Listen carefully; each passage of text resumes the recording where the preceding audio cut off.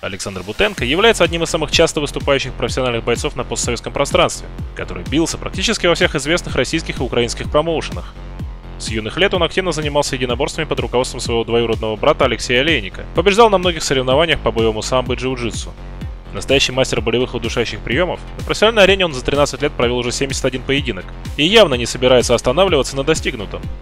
Сегодня мы с вами посмотрим один из ранних боев Александра, он состоялся в 2009 году, когда Бутенко выступал за сборную Москвы в командном чемпионате России по смешанным единоборствам M1 Selection на турнире «Битва на Неве» в Санкт-Петербурге. Московской команде под руководством Олейника противостояла команда Crazy Bears из Перми. А соперником Бутенко стал победитель турниров по универсальному бою Андрей Зубов. Комментировать этот поединок для вас будет Игорь Филиппович Петрухин в паре с легендарным Игорем Вовчанчиным, который был почетным гостем на том турнире. M1 Global presents the history of MMA. Друзья, мы очень рады, что наши видео пользуются у вас большой популярностью и дарят вам немало эмоций.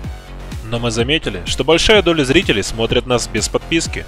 А это значит, что не всегда вам наши новинки будут выпадать в предложенных, и вы пропускаете немало интересного. А ведь мы подготовили для вас множество зрелищных боев и брутальных нокаутов, как из истории Global, так и других организаций, и стараемся радовать вас новыми видео несколько раз в неделю. Поэтому, пожалуйста, не забывайте подписываться на наш канал и нажимать колокольчик, чтобы не пропустить ни одного шедевра из мира смешанных единоборств. Призеры чемпионата России по универсальным поединкам, чемпион России по боевому самбо. Вот такая вот тема. Посмотрим, возраст или опыт. Да. Или, ну да. Скажи, годами, когда был приобретен опыт, мастерство, э, насколько легче было тебе читать молодых спортсменов?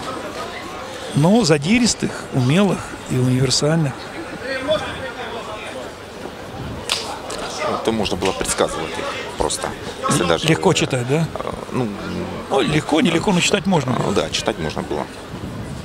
То есть можно где-то было отстать по физической силе. Ну, если я не имею в виду. Скажи, многие ломались, глядя тебе в глаза? Да.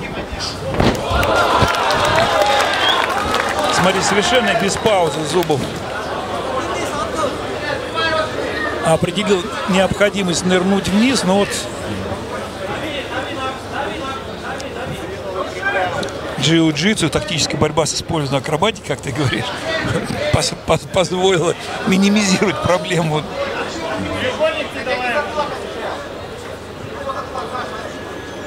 Пока ребята находятся в этой ситуации по поводу чтения глаз соперников.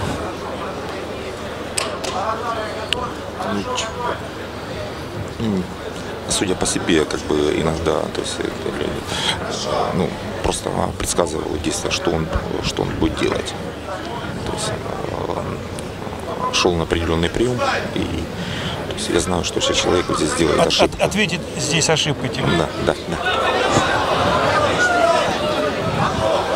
Рычаг лоб может, о, прошел. Не успели мы с тобой предвидеть, там уже была тема решена. Такой полуградусник. Я предвидел, не, не хотел говорить. А я увидел и сказал, какие мы с тобой оба под руку. Под да, руку да, да, да, да, да, да, да. Мы сейчас еще раз наверняка увидим повтор. И мне бы как раз хотелось, чтобы ты прокомментировал, где эта тема была уже реальной. Победу одержал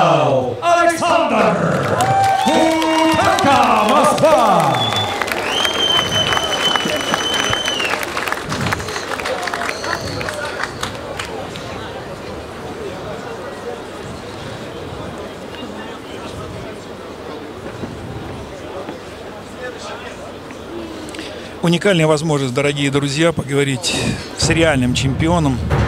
Давайте посмотрим сейчас повтор, а потом вновь продолжим чтение книг через глаза соперников от Игоря Вовчанчина.